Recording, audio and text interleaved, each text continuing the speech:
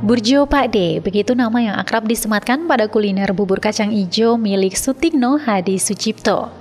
Berlokasi di depan Hotel Amans, kawasan Mardika, Burjo Pak D jadi kuliner begadang paling top di kota Ambon. Jajanan ringan dan mengenyangkan ini sudah dilakoninya sejak tahun 2005 saat pertama kali menginjakan kaki di kota berjuluk Manise ini. Pria setengah abad itu mengaku dulu berjualan mulai dari harga Rp1.000 per porsinya. Belum seramai saat ini, kala itu Pak D bersama gerobaknya harus menempuh jarak paling kurang 10 km hanya untuk membawa pulang uang sekitar Rp40.000 agar tungku dapurnya tetap menyala. Kemudian di tahun 2008, Pak D bercerita saat itu ada enam penjual bubur kacang hijau dengan gerobak. Namun hingga kini tersisa dirinya seorang diri. Meski begitu diakuinya, dirinya pernah mencoba peruntungan yang sama di kota Kendari.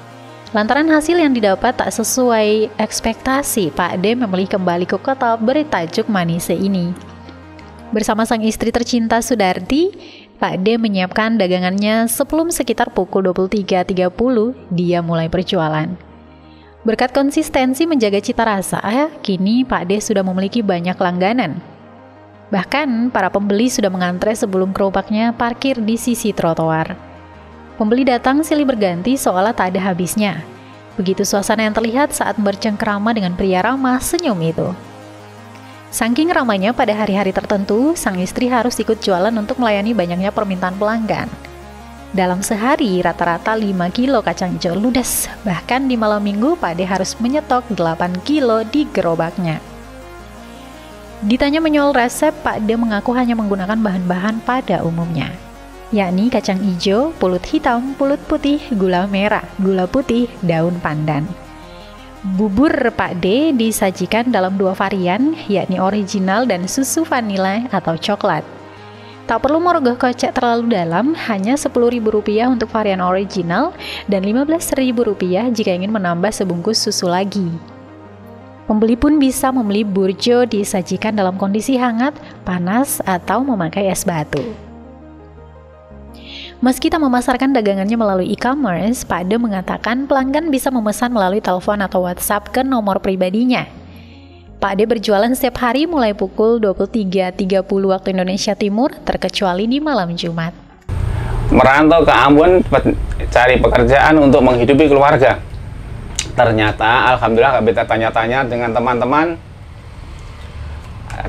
dapat solusi jualan bubur kacang hijau dari 2005 sampai sekarang. Awal penjualan seribu rupiah per porsi per hari itu pendapatan 60 ribu 40 ribu. Setiap tahunnya naik naik naik naik. Ya Alhamdulillah sekarang bisa apa yang aku mau sesuaikan keinginan Alhamdulillah. Ya begitu ceritanya kan dulu kelilingnya itu sampai sakit kaki. Sekarang Alhamdulillah teman-teman atas bantuannya warga Ambon sekelilingnya sekitarnya semua Alhamdulillah atas dukungannya atas antisipasinya setiap malam rela bergadang untuk burjo untuk membantu kita toh. Alhamdulillah. Pada ke depannya apa? ke depannya aku ya begini aja sudah cukup. Yang penting kita sehat hari-hari dapat apa yang aku mau bisa cukup untuk keluarga Salah seorang pembeli, Cia Tuanani mengaku Burjo ini kerap FYP di aplikasi TikTok saking banyaknya yang rela antre apalagi di malam minggu. Dia mengaku sudah menjadi langganan sejak lama, bahkan dalam seminggu bisa dua hingga tiga kali mencoba Burjo di Pak D. Cia juga mengungkapkan bahwa bubur kacang hijau Pak D cocok di lidahnya. Lebih lanjut harapan Cia agar ke depannya Pak D tetap jualan seperti ini karena suasana makan di pinggir jalan seasik itu. Dia saking viralnya sampai orang banyak rela antre dari hari biasa apa ya hari, malam minggu kayak gini. Kalau malam minggu tuh biasanya jam-jam satu ke atas itu mulai full.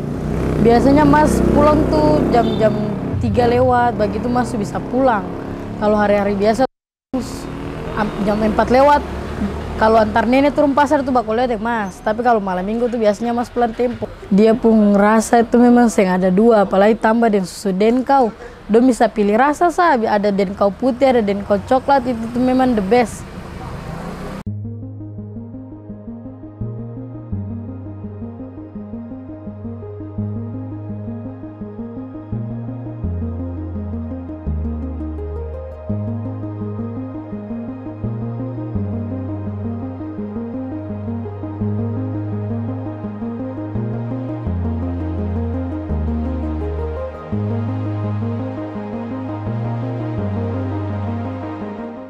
Download Tribun X sekarang. Menghadirkan lokal menjadi Indonesia.